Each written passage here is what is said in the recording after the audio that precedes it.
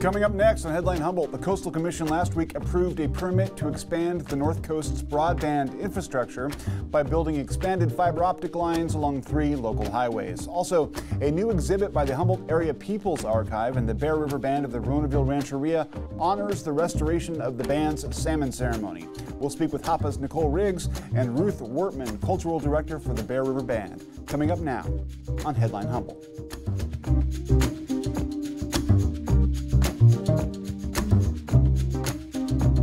The top of Humboldt Hill, this is Headline Humboldt. I'm James Falk. Thanks for joining us. Over the past 50 years and change, Humboldt County has been the home and center of a revolutionary spirit, one that manifested in political, environmental, and cultural movements that have marked our region as a land of visionaries. One local nonprofit, the Humboldt Area People's Archive, has made it their mission in recent years to collect and preserve the legacy and history of these movements and make them available to the rest of us as a source of learning and cultural history. Their most recent effort is a partnership with the Bear River Band of the Rohnerville Rancheria to collect the oral history of how the band and its partners have worked to restore and revitalize its ancient salmon ceremony. The exhibit includes the voices of Ruth Wortman and Barry Bernard, cultural coordinators for the Bear River Band, speaking about the meaning of the salmon ceremony, which existed for generations before falling away in 1958 during what it calls the termination era. The ceremony is being restored and revitalized through the collective memories of band elders. Starting on April 6th, this collection will be on display at the Humboldt County Visitors Bureau. It consists of regalia and other objects, but most importantly, it contains the stories of how this restoration took place and what it means to the people involved. According to HAPA, since 1980, the Mattole Salmon Group, a local environmental nonprofit, has been working in the Mattole River to restore salmon habitat and populations which were negatively impacted from exploitative land management. Where have we heard that before? They realized early on that there was a need to combine the spiritual connection of the indigenous people with salmon together with science based habitat and population enhancement efforts. In the disenchanted world we live in, everything sacred has been explained away and abandoned. Hearing these stories from the Bear River Band and glimpsing how they approach the natural world and its underlying spiritual currents may just help the rest of us rekindle a sense of wonder and realize that holding nature sacred and honoring that designation with good intention may just be the remedy we all need to lift our collective sense of alienation. But first, the news.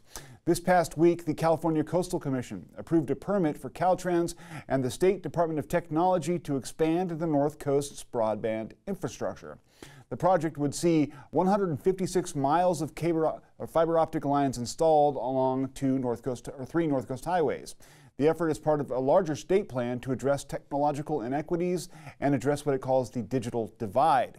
The project includes 49 miles of new cable along U.S. Highway 101, a short section along State Route 255 on the Samoa Peninsula, and five miles along Route 211 between Fernbridge and Ferndale. The project would eventually allow tribes, municipalities, nonprofits to connect to an expanded information network. The approved permit includes important stretches of additional work in Del Norte and Mendocino counties as a district-wide endeavor that is likely the first of many. State funding rules require that construction for the project has to be completed in 2026. And finally, here is our interview with the Humboldt Area People's Archive Executive Director Nicole Riggs and Cultural Director Ruth Wortman from the Bear River Band. Please enjoy. Once again, we're joined by Ruth Wortman. She is the, is that right, Wortman? Wortman? Wortman, okay. She's the cultural coordinator for the Bear River Band of the Rohnerville Rancheria, and Nicole Riggs from the Humboldt Area People's Archive. Thank you guys for joining us. So uh, there's a lot to get to, and this is a really fascinating story, so I appreciate, again, you guys coming in.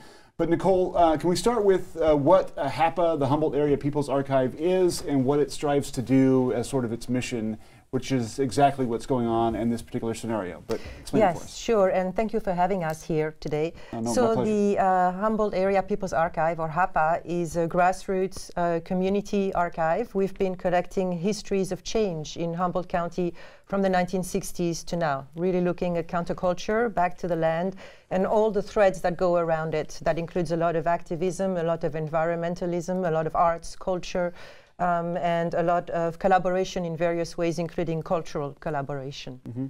Now, how did you guys get started? Was this uh, a brainstorm among people who were sort of passionate in that sort of thing? Or? So um, it's perhaps no surprise, actually, that when you're looking at counterculture, there's a kind of a natural alignment with uh, um, indigenous cultures. Mm -hmm. Both traditionally have been um, resisting mainstream narratives and questioning what those are, those paradigms, whether that be um, cap capitalism, consumerism, and so on. So there's a kind of a natural alignment. Yeah. Um, now, in particular, in this instance here with Ruth and all at Bear River Band, um, we've been talking to a number of environmentalists, including some from the Mattole Salmon Group mm -hmm. out by Petrolia, who have been since the 1980s uh, working on salmon habitat, yeah. Um, but realizing that science only by itself is not enough to bring back full health for the salmon and realizing that there needs to be a cultural um, connection and um, the indigenous people of the land here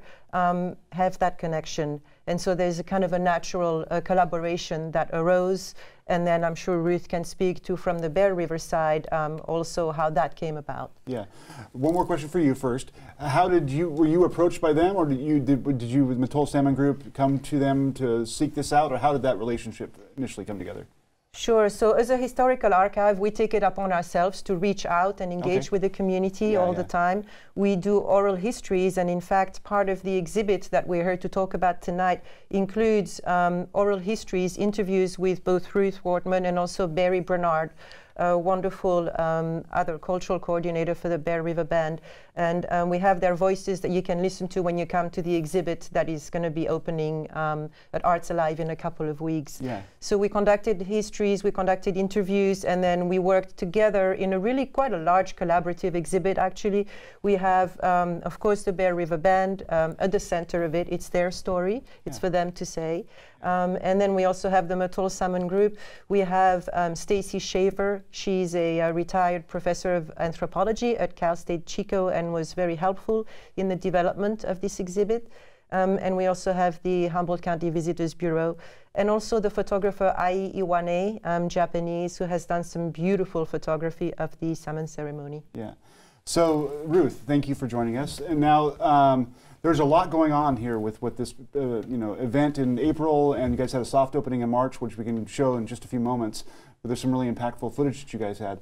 But um, can you talk a little bit about um, how you came to be aware of this project, and initially what you felt about getting involved, and then what you felt was important to share as part of the oral history project? Um, absolutely. So when it comes to sharing stuff, it's it's kind of like you have you can only give so much and share so much. Um, so I was I was um, I received an email about um, them wanting to come and do um, some interviews.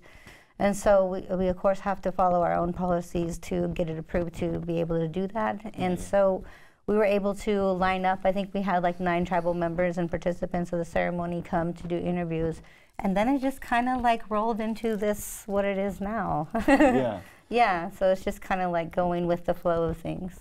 Now, so what did you choose to share as part of the interview and stuff? I mean, how did you guys shape that? Was it just sort of what came naturally during the interviews and stuff, or how did that come about? Yeah, well, whenever I share, I always um, try to take my own thoughts out of what I'm sharing about and just kind of let it come naturally. Because yeah. what I, I, usually do a little prayer before I do things like that. Yeah, which is a mark of humility, and I think the world needs a lot more uh, humility in every regard.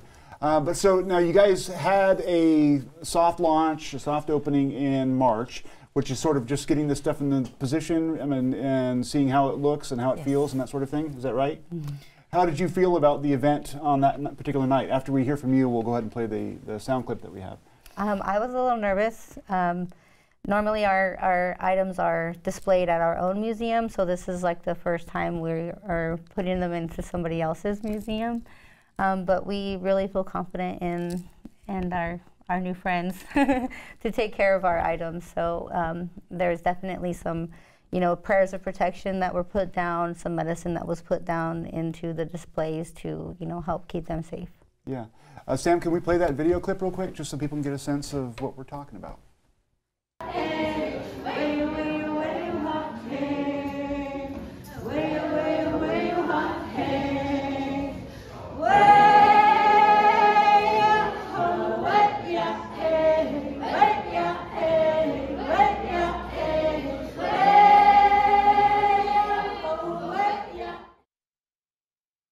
This is all leading up to an event coming up in April. What's the uh, date of that? I think I've got it here somewhere, but I don't have it. Sixth. Mm-hmm. The 6th? April 6th. April 6th. And um, it's 6 p.m., April 6th, Humboldt County Visitors Bureau at 422 First Street, right? Exactly. Now, um, people can get a sort of a sense from that video, but talk about what's there. I mean, what, what kind of items are there? How, what role do those items play in your uh, tribal culture? And why is it important that people who are outside of the tribe get a sense of that?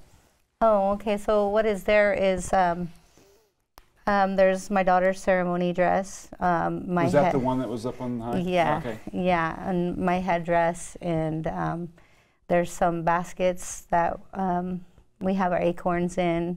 We have um, a male a mannequin with male regalia on, and um, the dress and the male regalia is um, for protection during ceremony because when we go into ceremony, we go into the spirit land, so we're there, and we're walking into worlds. Yeah. And so those items that we have on, they're meant to protect us. So those items are really sacred. You don't want to touch them. You you do want to you know say hello to them and acknowledge that they are alive because each one has a song, has a dance. Um, same thing with the baskets. Say hello. You know, let her know how beautiful she is. Uh, Yeah. And then on um, some of the other cabinets, there's um, there's some deer antlers um, to represent the tools that we use. Um, there's lots of shells. There's a men's um, gambling drum and some sticks uh, to honor our men. And um, the stick game honors our four-legged relatives. Um, so yeah, each each item has a spirit, and you know we we talk to them and acknowledge them. And right now they're awake. Um, when they come down from being displayed, they will be put to sleep, and they will go to rest until ceremony. Is that a ceremonial action that you help take to facilitate them waking up and going to sleep? Yeah, whenever I wake them up, I say good morning to them. Yeah. Yeah, and let them know how beautiful they are. That is a beautiful thing, I Mm-hmm. think. And I, I mean, I can't. People who know my brother work and the podcast I have and whatnot, I really, really deeply appreciate. I'm getting goosebumps talking about it, but I deeply appreciate that sort of, that sort of uh, approach to living in our world, and I think that we're we're missing it. One of the main points of this is that the uh, salmon festival, the salmon, I keep calling it salmon festival, the salmon. Um, uh, ceremony. Sam, yeah, sorry, salmon ceremony. Um, it was an important part of tribal culture, and then it was missing for a long time, probably because of problems that had happened with culturally being subjugated by, you know, the greater white community or whatever else. Can you talk a little bit about how it was resurrected and how important it is to have that continuity for the tribe? Yeah, so um, one of the elders from the salmon, um, the salmon council, um, had um, Michael Evenson get a hold of the ENR director at the time, who was Hank Bernard, and let them let him know the struggles that they'd been having for the past, I think they said 50 years, um, trying to fix the habitat, adjust the habitat, all these means to help the salmon survive and have a better a better journey. Yeah. David had told Michael we need the we need the indigenous people to help us, and so Michael got in contact with him, who got in, who came to me and was like, "Hey, here's the ceremony. We need you to do it. This is that, and this is this," and we just did it. Wow. Yeah. So how, how did you guys uh, rebuild it? I mean, how did you find out what was involved and all that sort of stuff? Lots of talking to elders, Yeah. um, and not just Bear River. We got you know we talked to Karuk elders, we talked to Yurok elders. Lots of elders have helped us get an understanding of what was what, and um, there is some some uh, documents, but they're very vague. Um, uh, so it was a lot of elders who were like, I remember this and that, and those those people had this and they had this, and so you know it was a lot of educating from our sister tribes who helped us understand, like, oh, that I did hear something about that to help, because it's only one day right now, and it's supposed to be ten days. So we're oh, it's supposed to we're, be a 10 day ceremony. we're okay. working on getting the canoe and um, learning how to build the houses because we built houses on the beach right there. And so it's a learning process. It's not complete yet, but we're we're getting ready to do um, a salmon ceremony at the mouth of the eel, which Mm-hmm. an elder had came and said, you know, we're supposed to be doing this out the Eel River. and so we're going to do that too. so what, what's the date for that?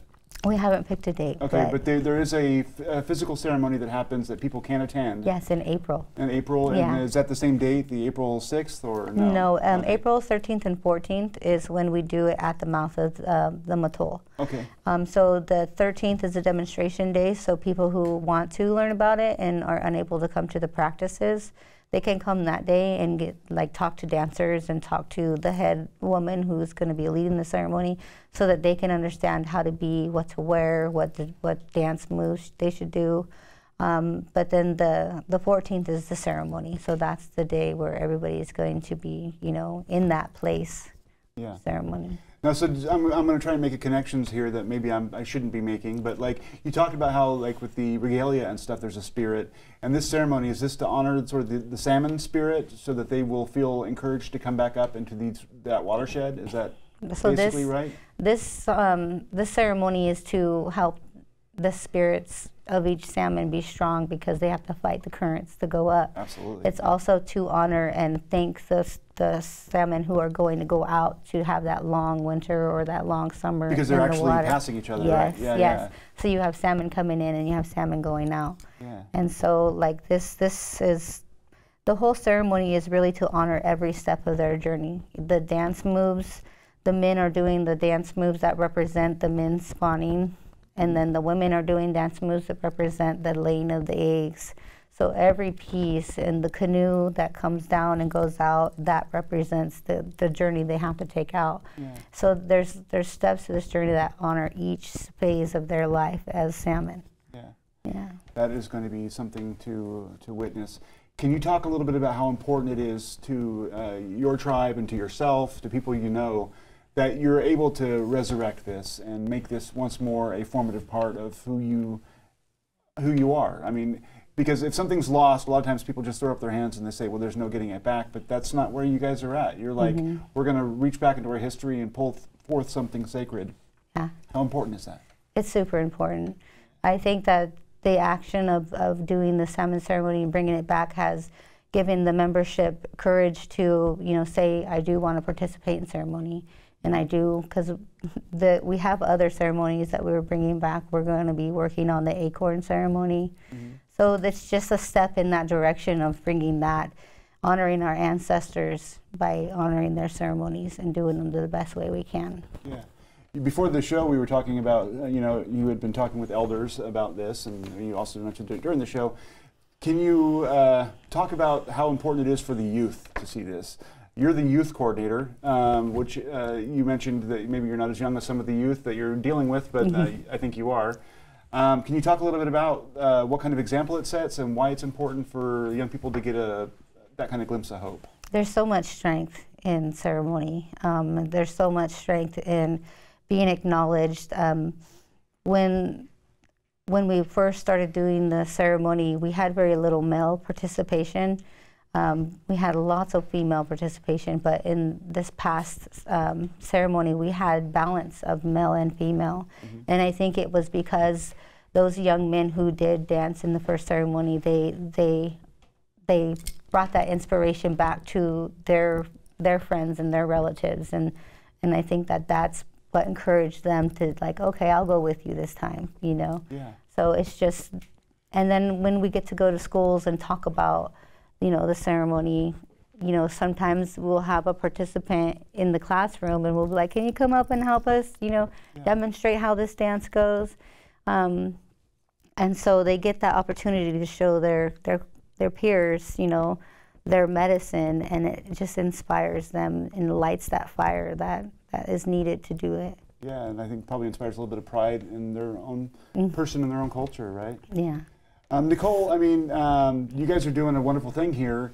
There's, uh, I would, if I were involved in this situation, I would be a, a little bit scared about the uh, the sacredness of the ceremony and then being involved as an outside organization. Can you talk a little bit about the sensitivities that you guys are trying to bring to this? Because it, this is obviously not your culture, but you're trying to preserve it. Um, how do you guys parse that? That's a, that's a great question. Um, so it helps that we have a clearly defined mission as a historical archive. Yeah. We document and we preserve um, what has been happening. um, the telling of the story belongs to the people whose story it is. Yeah. And so that's Ruth, Barry and all at Bear River. So our role is really one of holding um, the materials and then sharing with the public um, those histories, and that makes it easier. And then I think beyond that, it has to be a complete and utter faith mm-hmm. in moving forward. And um, it is something that I remember at the first salmon ceremony that I went to. Um, and then I heard Ruth speak about it, and she said, um, You do it um, with a good heart, in a good way. Yeah. And I take those words as the words to guide how we're approaching this entire exhibit. And some things may still be unknowable or unknown, yeah. um, but we go with faith, uh, with a good heart, in a good way. Yeah, absolutely. I think intention has a lot to do with the outcome and also whether you know you, to avoid some of the issues that have come up in the past with exploitation and whatnot. That is not what this relationship seems like from the outside in, and I think uh, you're both brave for taking it on. Um, can you talk a little bit about uh, on, on, the HAPA front? What kind of other things you guys have done in the past, and if people are interested in getting involved in this sort of thing? Or have an archive of things that they want to yes. you know, share with you. What can they do, and how can they get more involved? Yes, and thank you for that because we do, we are actively collecting materials. Um, in fact, um, I do want to mention the Salmon Creek community and thank them. They just donated their entire community school archives wow. to our organization, and so we're diligently um, working through those materials. Um, for people who have materials that are of historical significance here, again from the 1960s onwards in Humboldt County, um, then uh, please do reach out to us. The best way is through our website, humboldtareaarchive.org. Okay. Uh, there's contact information there. Uh, we can also be reached by Facebook or Instagram. Um, and we, um, we are absolutely passionate about preserving the history of this region in all its multiple facets. Um, because it's very important to help us move forward and find solutions, especially collaborative solutions moving forward, is to be able to reach into the, the richness of our own past. And some of the examples we have of activism and of uh, questioning mainstream ways of doing things and finding perhaps more communal solutions. Um, so that's all part of what we do. And again, going to our, our website is the best way to, uh, to connect with us. It's interesting because a lot of the issues that you are covering and collecting stuff about are were often contentious in their moments, and so it seems like a large part of this might just be healing in the reviewing of the history for both sides. I mean, it's not as I mean, would you say that your uh, these collections are collected for a particular group or for the whole community to examine as a whole? I mean, how would you define I, I, I hope that it is for the whole community, and there is uh, no saints in history. Um, and so we do well to look uh, deeply at both those that perhaps we have a natural inclination to admire mm -hmm. and to question them, and then those that we have perhaps an inclination to um, already reject or uh, criticize and to question that as well. And so it's great to have the historical materials. It's your first-hand evidence to grapple with this past. So um, a healing, I hope so. Certainly um, an opening up and a sharing, um, and then let's uh, let's work together on, on a path forward. Yeah, absolutely. Um, it seems like you guys have. I guess I should just ask the question: Are you guys doing a lot of these presentations. So this is the first one that I've really been uh, alerted to. But I mean, it's a I love oral histories. I think that that's the most impactful way for people to kind of encounter um, history. Mm. And so, uh, are are there more of these kinds of things planned, or is it just uh, as people come to you? Yes, um, there are there are there are both more planned and pe when people come to us, we can also develop more projects. Yeah, yeah. Um, but in particular, I would like to speak more to the exhibit that we're doing here collaboratively sure. with Bear River Band. Um, we want to really expand on it and have a much larger exhibit in the fall, and we're working on securing funding for that. And we want to have a greater section of oral histories as part of that, yeah. um, and perhaps have a greater educational component as well. So that's very much part of it. Um, hearing the voices of people and being able to read their own words um, is really a great way to pass on, to transmit history uh, without putting oneself in the way. Yeah, yeah. And it's interesting in this particular project because you have the nexus of history, but then this generation trying to reconstruct. So it's like this strange moment that's beautiful and scary, I would imagine, but also, uh, you know, exhilarating. Mm-hmm. Um, can you talk a little bit about? Uh, I kind of touched on this in the first question, but what risk is there for a, a, Native woman or a Native man to share this kind of stuff with a community?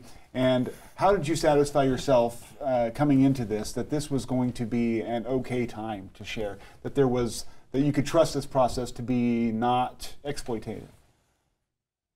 That's where I I check in with my spirit helper for that. Um, I walk with Creator, so I let Him guide my path, and I let Him, you know, speak for me when I don't know what to say, right? Yeah. Um, so in the moment, I, I check with my spirit helper. If my spirit helper is telling me not to share something, then I won't. Yeah.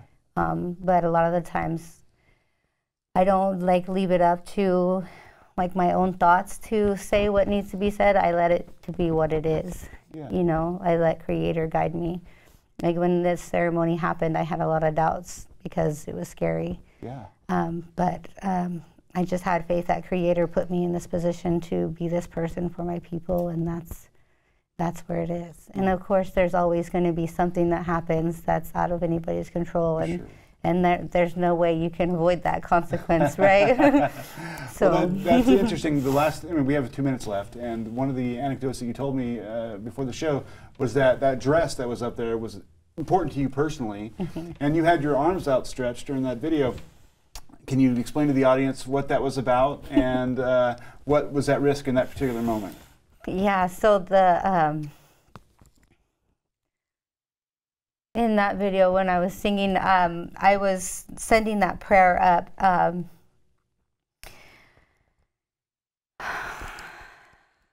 um, so when I sing my songs, I don't just sing my songs for people to enjoy them. I sing them with a purpose and intent behind them. And for me, like every movement, every action has an impact on that prayer. So that's what I was doing. I was just sending my prayer up as high as it could go, as far out as it could go, and yeah. just just going with it. Yeah. And there was a moment you were worried about the dress too, right? Yeah, I thought the dress was going to fall down. so I was like, "Oh, please don't fall! Please don't fall! Like you're strong, you can do this." I love that. And it's your daughter's dress. That's said? my daughter's dress. Wow, how many hours were went into the construction of that dress? A lot of hours. I bet. Yeah. Absolutely beautiful. Well, thank you guys. Uh, this is an impactful discussion, and I'm flattered that you guys brought it to us. And anything I can do in the future to please, you got one more thing? Yes, I would like to uh, add just as a reminder for everybody to please come to the grand opening yes. of, of the exhibit. So that's at Arts Alive. That's mm-hmm. Saturday, April 6th at 6 p.m. Yep. at the Humboldt County Visitors Bureau, 422 First Street. Excellent. Yes, and uh, thank you for repeating that. And uh, you should be hosting the show. You do a better job at it than I do. well, thank you guys. I appreciate it, and we'll see you again. Thank you. Thanks. Two. That's it for this evening. As a final reminder, the Humboldt Area People's Archive will host the grand opening of its Salmon Ceremony Oral Histories exhibit at 6 p.m. on April 6th at 422 First Street in Eureka. Stay tuned, stay informed.